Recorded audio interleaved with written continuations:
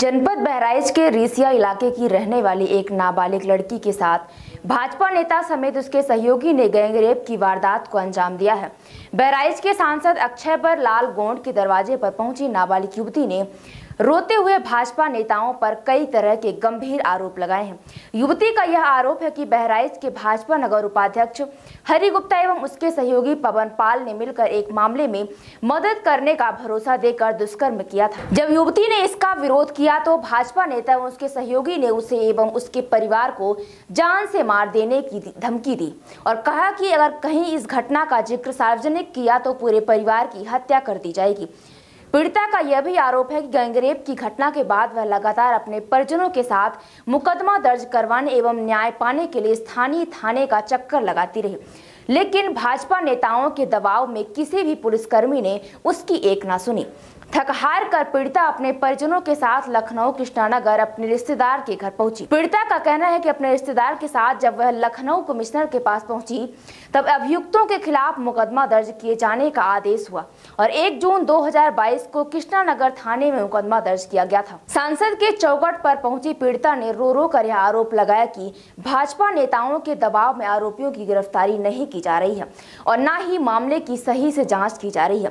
पीड़िता का यह भी आरोप है की मामले को सुलह करने के लिए पुलिस ने पीड़िता के पिता एवं उसके दो भाइयों के ऊपर फर्जी तरीके ज़बरदस्ती मुकदमा दर्ज कर दिया, ताकि अपने परिजनों को बचाने के लिए पीड़िता अपना मुकदमा वापस ले ले। रोती बिलकती पीड़िता, सांसद अक्षय पर लाल गौड़ एवं एमएलसी प्रज्ञा त्रिपाठी से मिली और हाथ जोड़कर न्याय की गुहार लगाई। पीड़िता का आरोप है कि भाजपा नगर उपाध्यक्ष हरिगुप्ता बेहद दबंग और सर्कस किस्म का आदमी है। हरिगुप्ता ने अपने सहयोगी पवन लाल के साथ मिलकर नशे की गोली खिलाकर नाबालिग के साथ कई बार दुराचार किया। जब नाबालिग ने इसका विरोध किया तो उसे जान से मार देने की धमकी दी गई।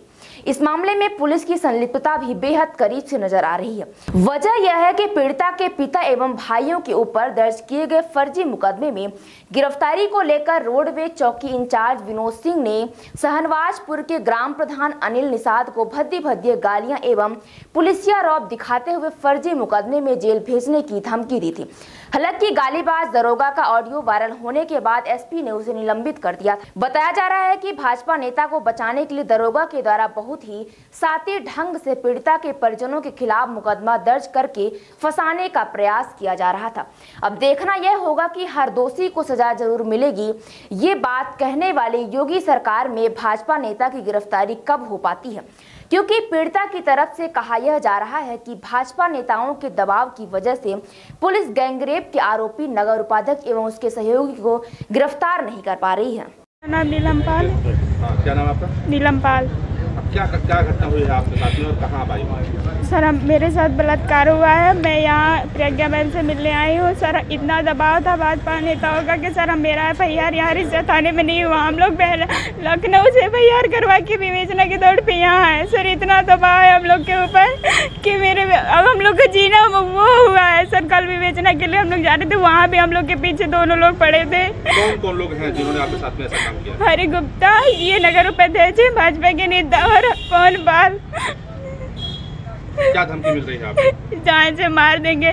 मेरे पिताजी को तीन सौ तीन सौ छिहत्तर के मुकदमे में मेरे पिताजी को और मेरे दो भाइयों को। फर्जी मुकदमे में ये नार पारा कि एक मुस्लिम नाम की लड़की है सूफिया उसके तरफ़ से ये तीन सौ छिहत्तर का मुकदमा मेरे पिताजी के ऊपर लगा दिया है। अभी आप कहाँ आई हो? मैं यहाँ मिलने आई हूँ प्रज्ञा मैम जी से। जैसे सर मतलब हम लोग प्रतिज्ञा मैम से मिलने आए हैं सर, लेकिन सभी भाजपाओं से हमें अनुरोध है कि हमारी मदद किया जाए। मैं अपने लड़की को लेकर, सर, मैं कहाँ जाऊँ? सब तीन तीन, चार चार लोग, इन लोगों के साथ बलात्कार किए हैं, दो लोग जो है, सर। और ये बताइए कि मतलब हम इस वीडियो को कहाँ लेकर जाएँ? कोई हम लोगों की सुनवाई नहीं कर रहा है। इन लोग नेताओं के दबाव में सभी लोग, हम लोगों का कोई सुनवाई नहीं कर रहा है, सर, जो है।